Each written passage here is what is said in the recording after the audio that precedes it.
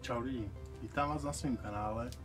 Dřív eh, než si ukážeme výrobu té výhně, tak eh, bych jenom chtěl ukázat takový lehký upgrade toho hořáku.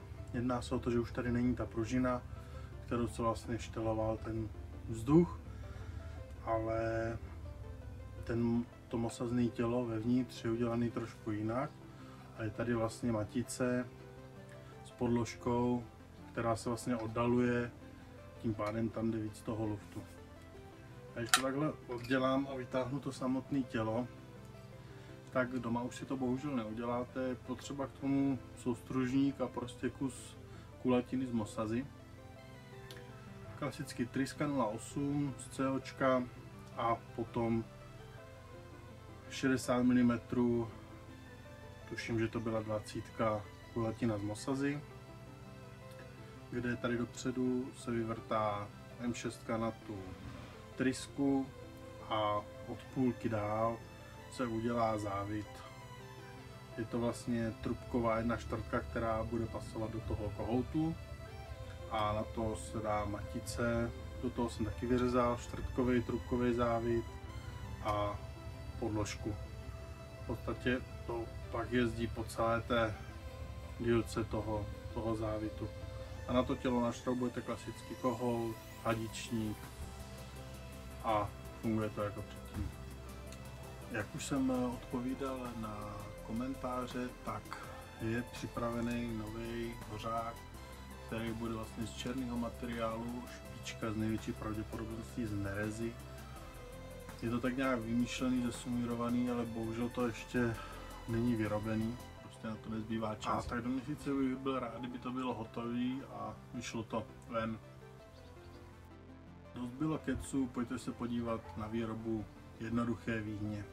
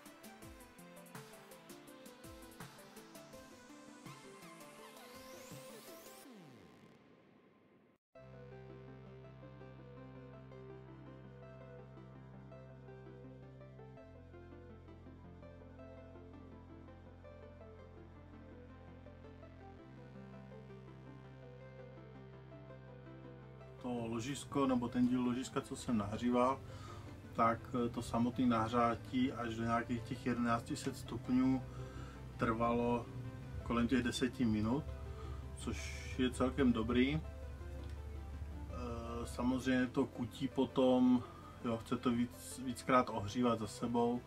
To bude zase v dalším videu, kde si už předvedeme nějaký kutí pomocí té Dneska šlo hlavně o to sestavit, otestovat, a změřit čas, za který se nám takový kus materiálu nahřeje. Samozřejmě bylo by lepší, kdyby jsme nahřívali celý kus, nejenom to ložisko, protože ten tuškový plamen nešel přímo na ten kov, ale šel vlastně do prostřed a tím, jak se vlastně to teplo odráželo od té spodní šamotky, tak se nahřívalo to ložisko. Takže pokud bychom měli materiál plný, menší, ale bylo by to hnedka pod tím, tak by to nejspíš trvalo kratší dobu. E, spotřeba toho plynu, když jsem to teďka měřil, tak je na ten jeden hořák 0,8 litrů, což je perfektní.